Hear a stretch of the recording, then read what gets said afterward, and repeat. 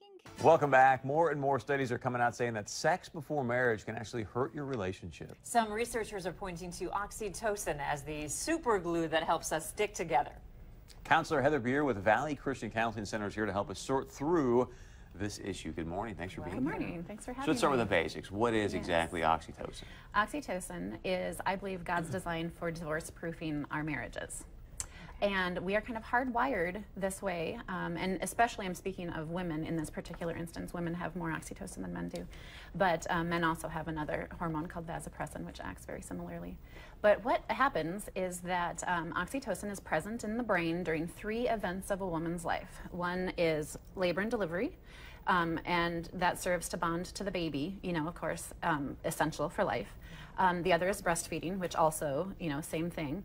Um, and so what happens is um, the oxytocin bathes the brain, and then as she's, you know, holding her baby, she's looking at her baby, and that where she's looking bonds her to her baby. And so because the feelings of love and um, protection and pardon me um, and and like I would lay down in the street for this baby. Like this is a this is like a life-saving hormone that we have in our brains. And it's only been in the last like 14 15 years that people have really focused on this other part of how um, it bonds us to our husband or wife in intimacy sexual intimacy.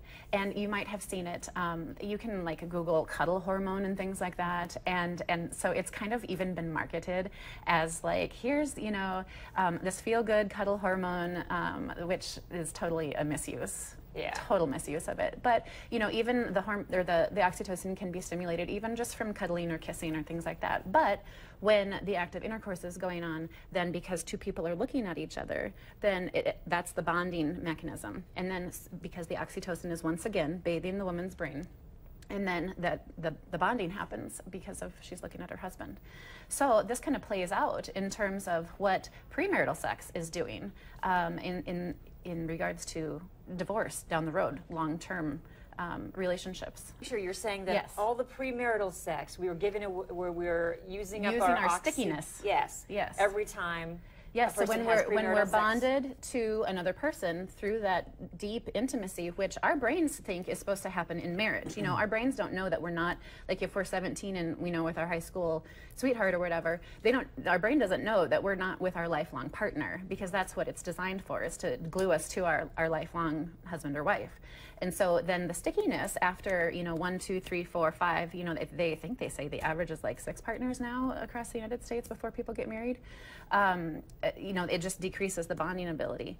By 12th grade, 65% of high school students will have engaged in sexual intercourse, and one in five sexually active teens will have had four or more sexual partners.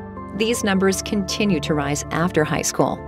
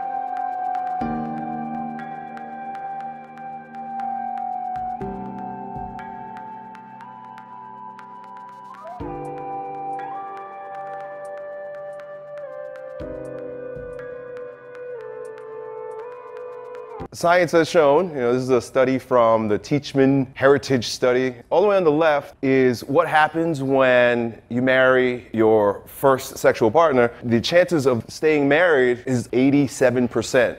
As the amount of men you have sex with before you actually get married starts to go up, that chance of the marriage working out consistently goes down. You can see over there towards the bottom, when you start getting into like 16 plus sexual partners, the chances for marriage working out significantly drops. It goes down to 17%. So we go from 87% down to 17% by having a whole lot of sex. And it just so happens that the more man a woman has sex with, the lower her ability to pair bond, to really bond with one man.